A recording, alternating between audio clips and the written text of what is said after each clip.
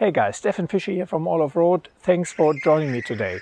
In today's video, I would like to talk about everything PLB and EPIRB related and in particular I give you my view of the new GME PLB, the MT610G. So hang around, I think in this video I cover everything you need to know about PLB and EPIRBs. Let's get into it.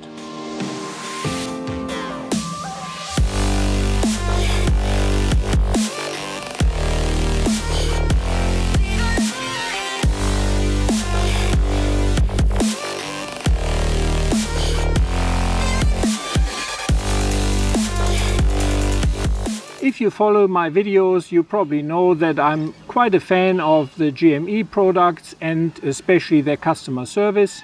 And this PLB was given uh, to me from GME before release to test and give my feedback and to do a review. However, it's not a paid review. I don't receive any monetary compensation and GME will not see the review before it's posted and has absolutely zero input.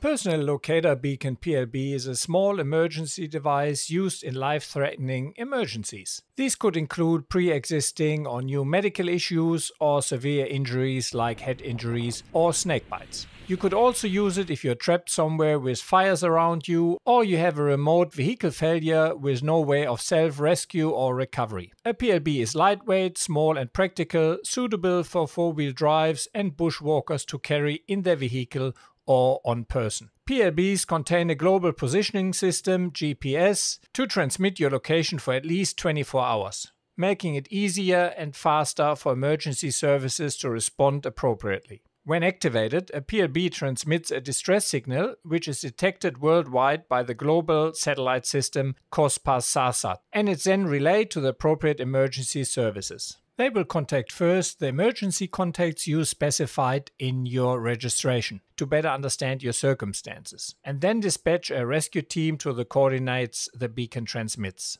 Exactly how the response team is dispatched and how quickly it can reach you depends on the terrain and weather conditions. Helicopters, for instance, can only operate under clear weather conditions and within refueling range. Sometimes a response party is sent by four-wheel drive and foot, which means the response time vary and you will need to be prepared to wait. As well as transmitting the PLB's ID in location via satellite, the PLB also transmits a homing signal for the search and rescue team. This makes it easier to find the PLB in dense vegetation and around cliffs and is a feature which, for example, the Spot or Garmin InReach does not have.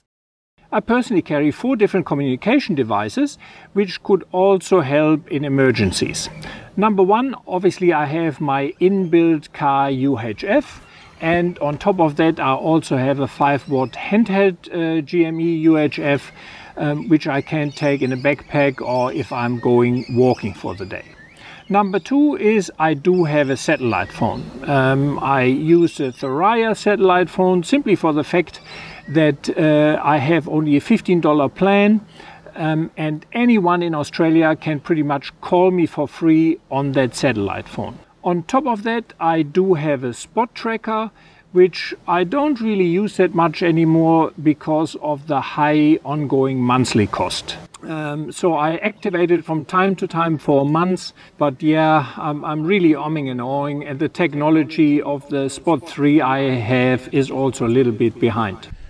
So good example why I don't recommend having a Spot or Garmin InReach or whatever as your main PLB.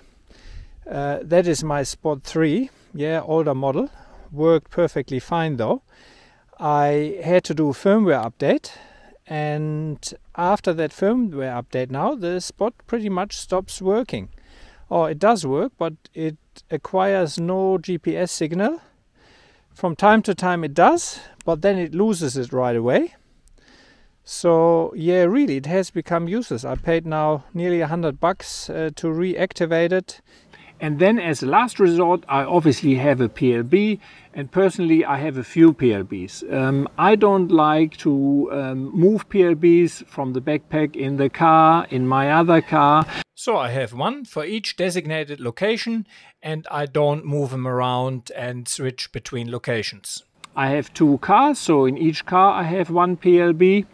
And um, in my Land Cruiser, I have these older GME uh, PLB. This is now the second one uh, I purchased. And as you can see, it is a fair bit bigger. For the car, that's no big issue because it's living in my glove box. But for hiking, it really was a bit too big. So I actually suggested to GME some time ago that it is time for a smaller GME PLB. And yeah, finally um, that was heard. Mind you, I don't think it was me uh, initiating that. GME would have known what the market does, and uh, that probably was in development anyway.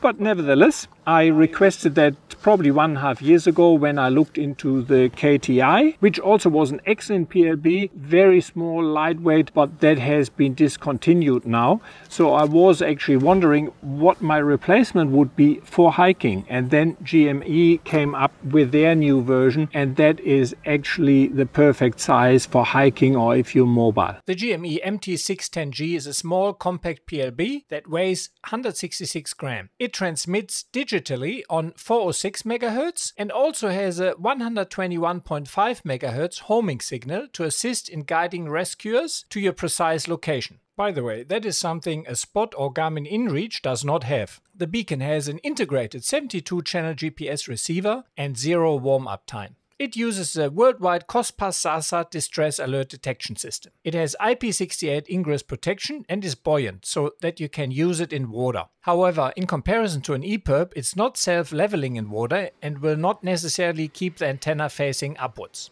It also features a high visibility strobe light, which will aid locating it in the dark or under foliage. The unit has a 7 year battery life and 6 year Australian warranty. At present, GME is the only Australian manufacturer of emergency beacons and has been designing, engineering, and manufacturing EPIRBs and PLBs for over 30 years. In that time, GME beacons were used to save hundreds of lives around the world.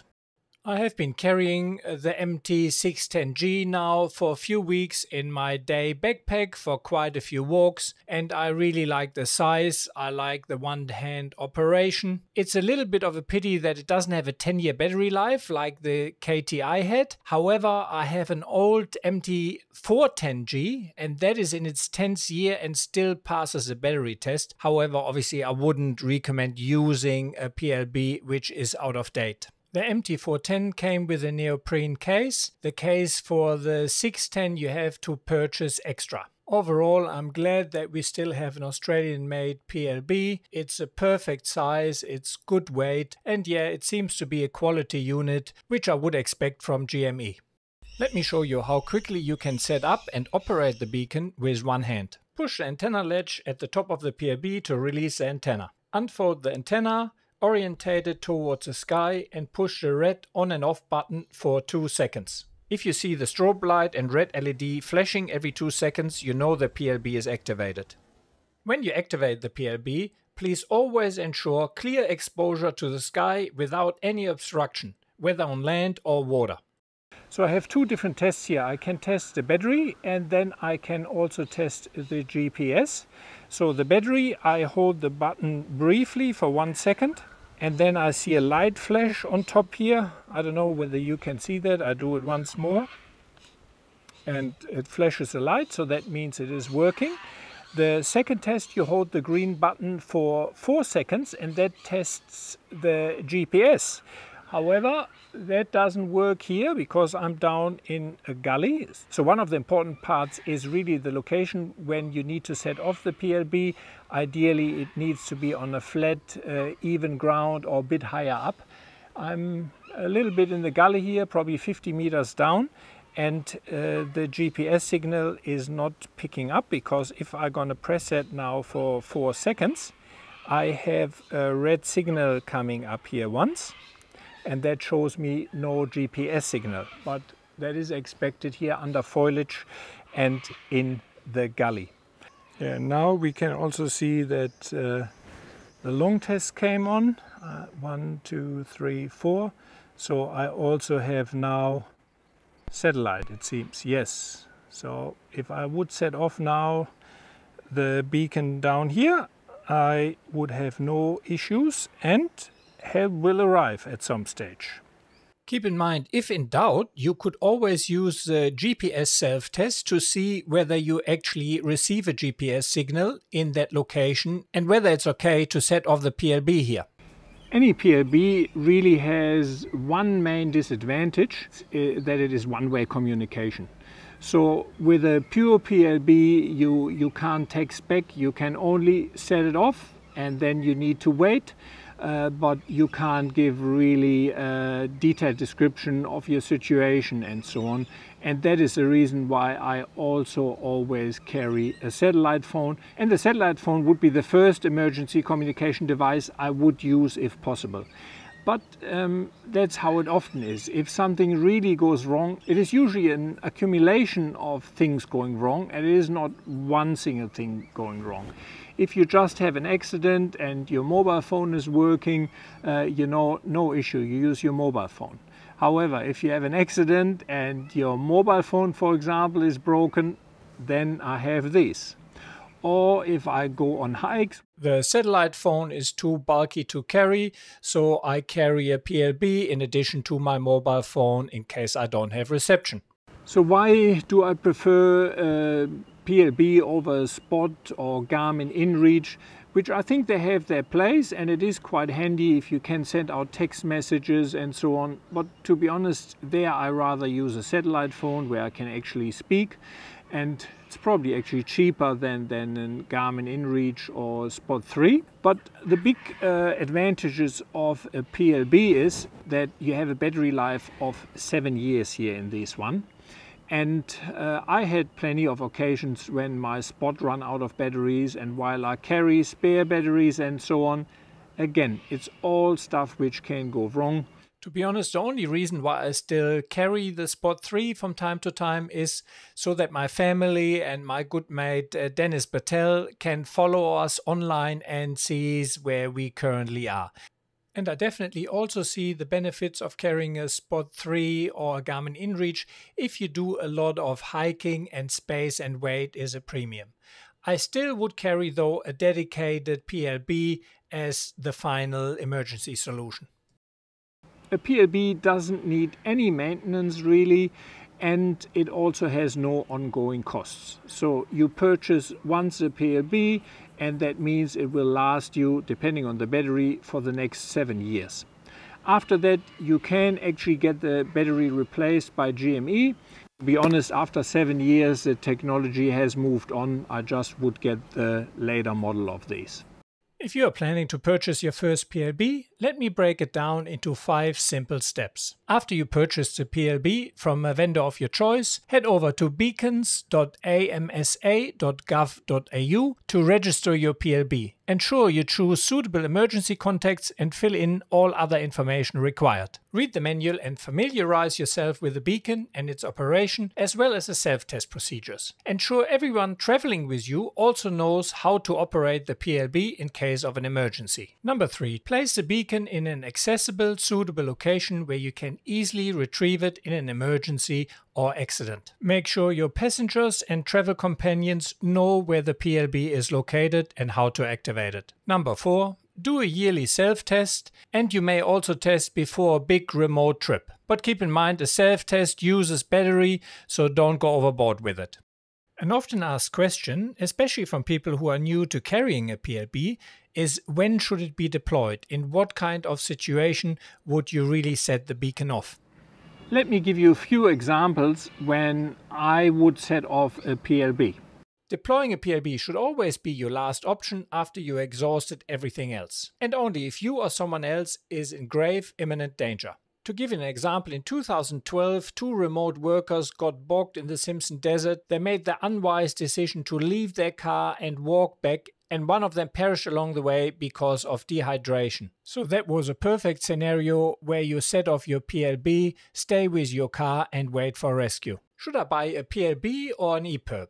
I often see this question in various Facebook forums, so I give you my take on it. An EPIRB and a PLB function the same way, but an EPIRB is specifically designed for marine operations and is usually registered to a vessel. An EPIRB is required for every recreational vessel heading out more than two nautical miles from the coast. The main differences are that an EPIRB is bigger, heavier, it will float and always point the antenna towards the sky. It also can have additional features like auto activation if in contact with water or upside down. It will transmit for at least 48 hours, given you are likely floating somewhere in the ocean with changing positions. However, unless you own a boat and a four wheel drive and can't afford to have two separate devices, I definitely would recommend a PLB for land based adventures simply for the fact that it is more portable, it is lighter, and more versatile.